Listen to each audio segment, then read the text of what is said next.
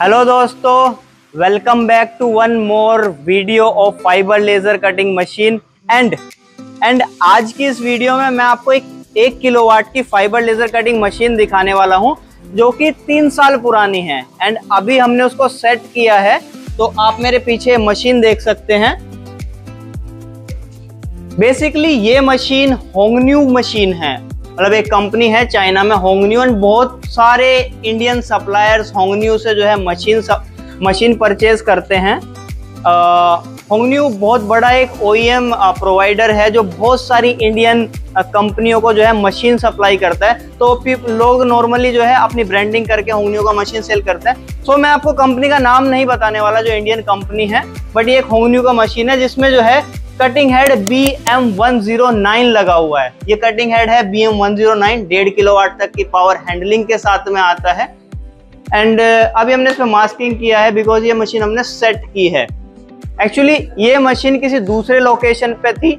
अभी हमने इसको आ, एक दूसरी लोकेशन पे सेट किया है। ओके एंड ये मशीन हमने सप्लाई नहीं की। कस्टमर ने किसी दूसरी कंपनी सप्लाई की थी। हमने सप्लाई किया है कंप्रेसर यू कैन सी अगर आप देख पा रहे हैं ये एक कंप्रेसर का कंप्लीट सेटअप है। 16 बार का कंप्रेसर है।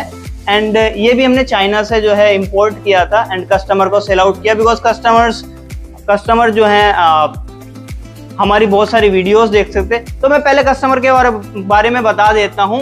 मैं हूँ एस वी स्टील मेटल्स के अंदर जो पड़ता है मंचेरियल के अंदर तेलंगाना के अंदर। हैदराबाद नियरेस्ट बिग सिटी है जो कि यहाँ से 250 किलोमीटर पड़ता है।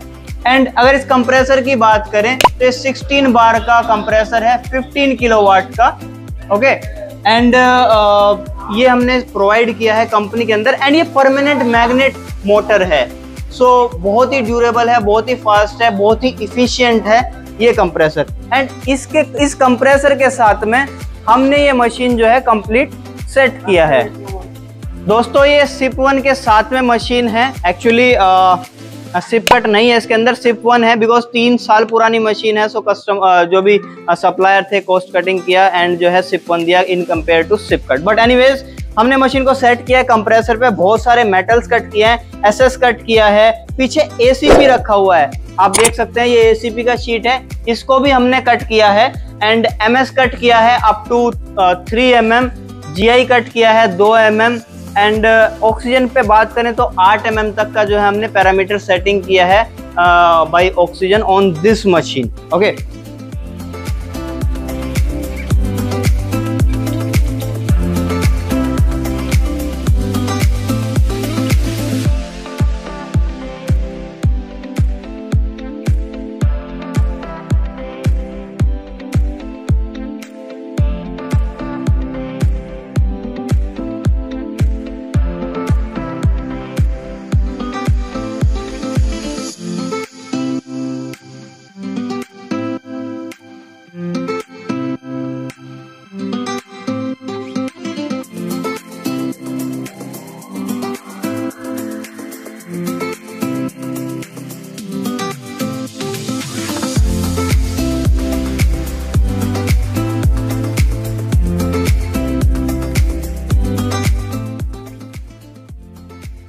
तो दोस्तों ये तो हो गया मशीन का बात।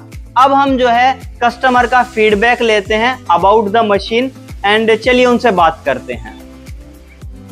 तो दोस्तों मेरे साथ में है मिस्टर सोनू सर एंड ये ओनर हैं एसवी स्टील मेटल्स जो कि पड़ता है मंचेरियल के अंदर Telangana.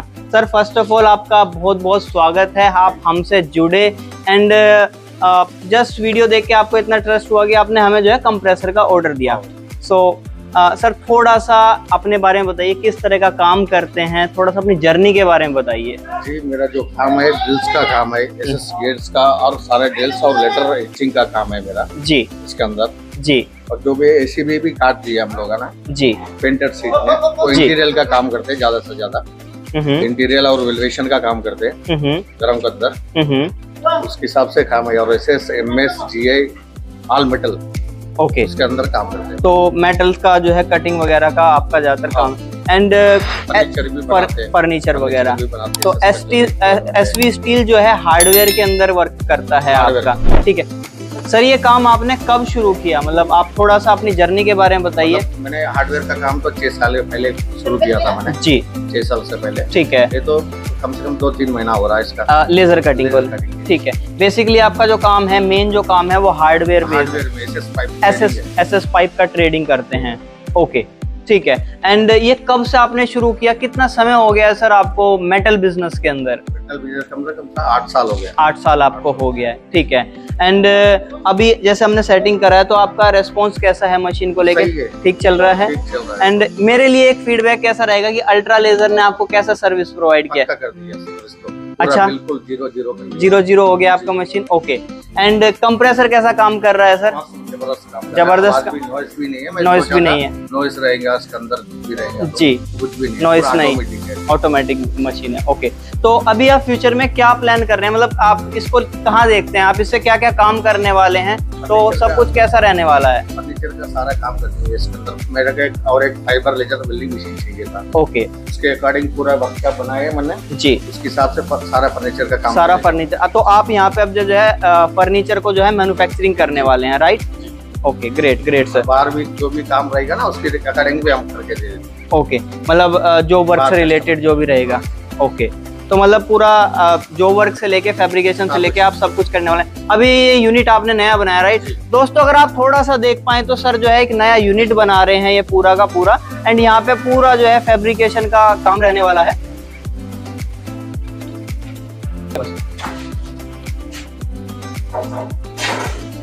सो so, दोस्तों ये यूनिट है जो सर तैयार कर रहे हैं अभी मंचेरियल के अंदर जिसमें आपका फर्नीचर का भी जो है सारा काम होने वाला है। फर्नीचर मैन्युफैक्चरिंग होगा जो वर्क भी होगा एंड ओवरऑल सारा मेटल फैब्रिकेशन से रिलेटेड वर्क रहने वाला है राइट और कुछ कहना चाहेंगे सर हमारे दर्शकों को आप? नहीं, तो कुछ भी नहीं है बस परफेक्ट हो गया मेरे को काम। आपने समय दिए है जी। तीन दिन का। जी। इसके अंदर तो पूरा कंप्लीट हो गया सारा लेयर्स वगैरह पूरा सेट करके दे दिया।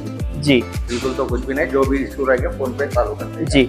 अ, मैं बता बताना चाहूँगा दोस्तों मैं सर के पास में आया था मशीन सेट करने के लिए। हमने यहाँ पे कंप्रेसर सेट किया एंड कंप्लीट मशीन जो है सर को सेट करके दिया है। कंप्रेसर पे पैरामीटर सेटिंग करी है। फ्रेशली इंस्टॉल किया है मशीन बिकॉज़ ये मशीन किसी दूसरी जगह से यहाँ पे आया है। तो इसके connections wiring A to Z जो भी इसमें छोटी मोटी चीज़ें थी वो हमने सब सेट करके दी है। थैंक यू सर फीडबैक देने के लिए अपना समय देने के लिए। एंड उम्मीद करता हूँ हम जुड़े रहेंगे।